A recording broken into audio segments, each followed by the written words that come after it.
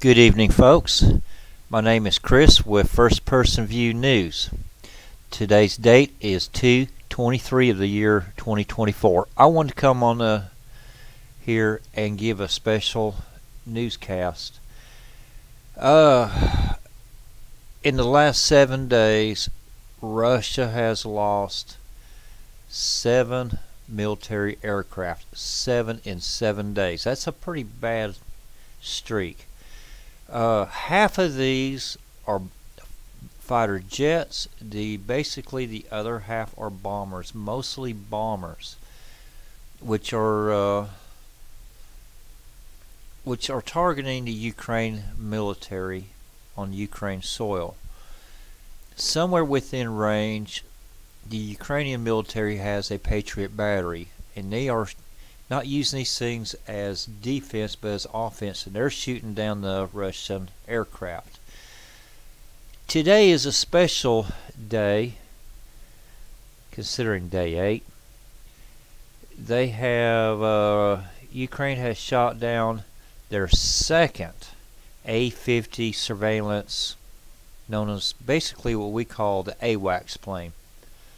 The first one was shot down a couple months ago today they done shot down another Russian A-50. There was also another another bomber shot down that was Russians. Two more strikes today. So in eight days they have shot down well Ukraine shot down nine planes there is some confirmed reports of this coming out of the news now. Let me show you some videos.